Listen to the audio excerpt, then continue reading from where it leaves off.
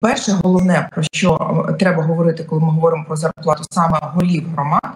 Е, сам голів громад це те, що е, серед посадовців України це самі прості для контролю е, зарплати, самі прості для контролю гроші, які люди отримують за свою роботу. Чому?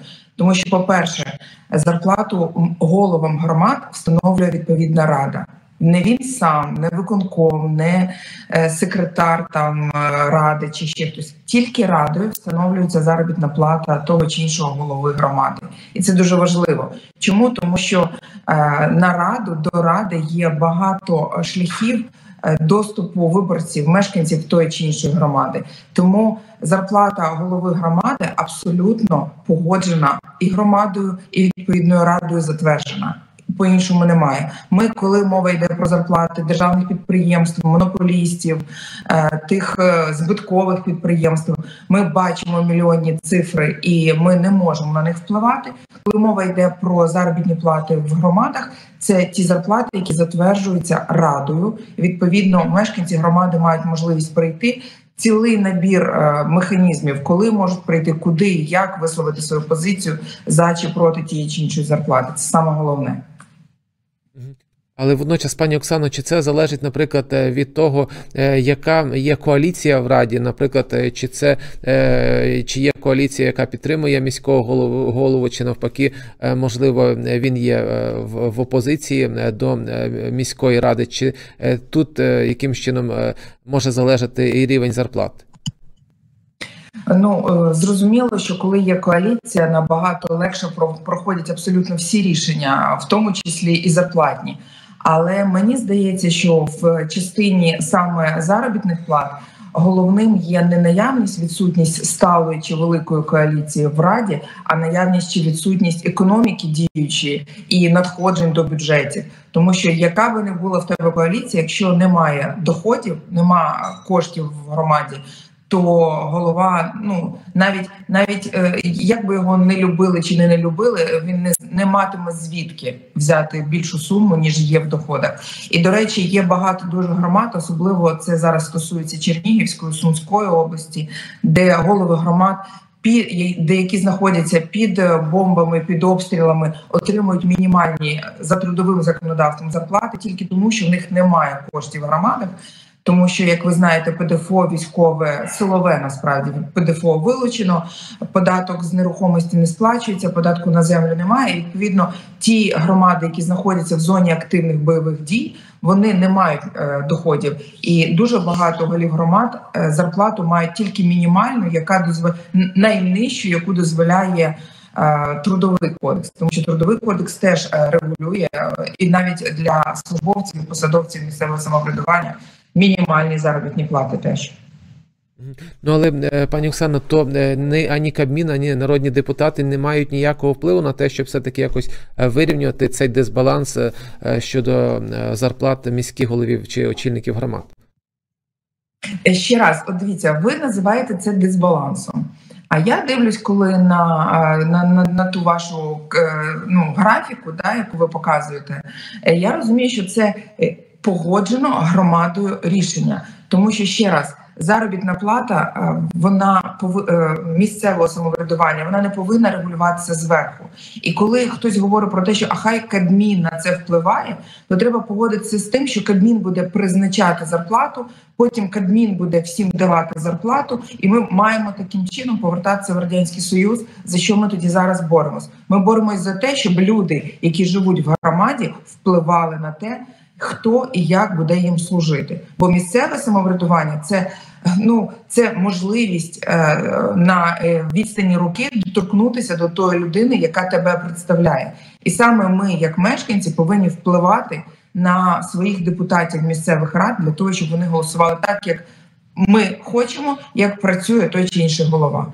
Не треба нам, щоб нам зверху говорили, яка буде зарплата у мера, потім яка зарплата буде у прибиральника, яка зарплата потім буде у тих чи інших. Тобто повинна громада визначати, що її влаштовує, і ми за це з вами зараз боремося, і весь світ нас в цьому підтримує.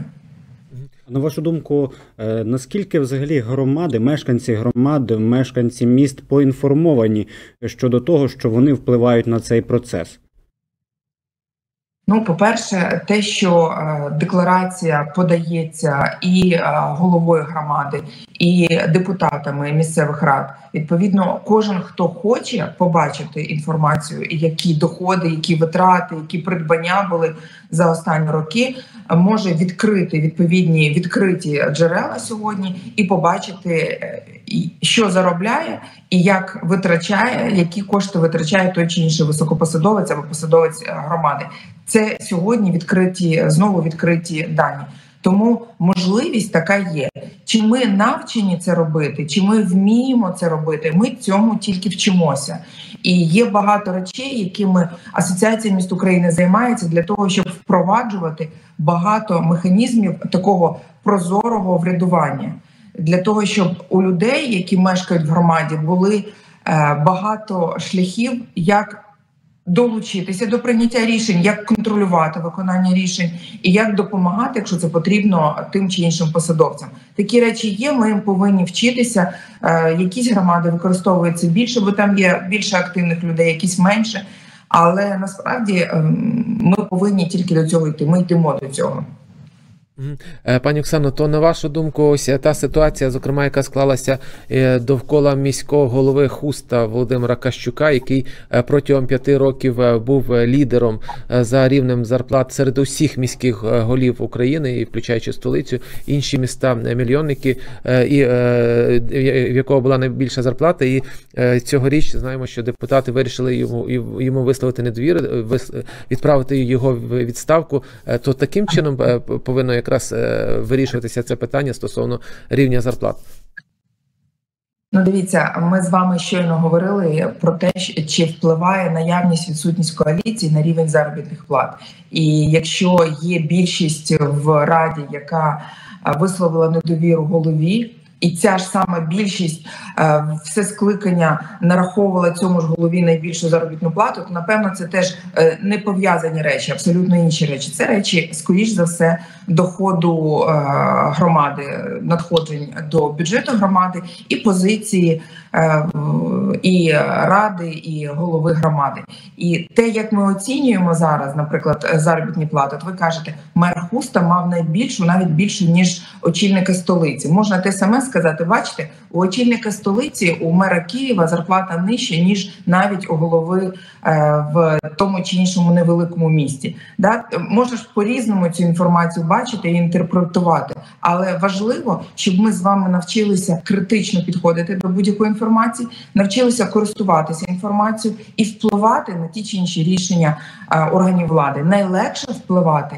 Е, громадянам саме на рівні місцевому, от на, на, на рівні тої чи іншої громади. І повірте, якби в хусті мешканці не хотіли або не підтримували таке рішення, е, рада би за нього не голосувала. Е, цікаво, якщо загалом оцінювати позицію асоціації міст України, то чи якимось чином ви реагуєте на ситуацію з зарплатами, чи можливо підказуєте, чи як якимось чином контролюєте той стан щодо? е, того, на що спрямовуються ті чи інші ресурси громад? Ми в Асоціації міст України робимо все для того, щоб на законодавчому рівні були е, створені максимально можливі широкі умови для мешканців, щоб мешканці впливали на своїх обранців. Це саме правильний, сам єдино е, е, єдино правильний механізм, який є в світі. Нам може подобатись, не подобатися якісь механізми, але краще демократії ніхто нічого не придумав. Тому в асоціації міст України ми працюємо, і в нас є декілька проєктів за для забезпечення максимальної залученості мешканців до прийняття рішень. Це і публічні слухання, і о, з, з участь в засіданнях сесії. Дуже багато є оцих механізмів е, відкритого врядування, і ми їх впроваджуємо на рівні законів, на, на рівні е, рішень уряд уряду для того, щоб мешканець міг висловити свою позицію, щоб ця позиція була врахована, коли приймається рішення.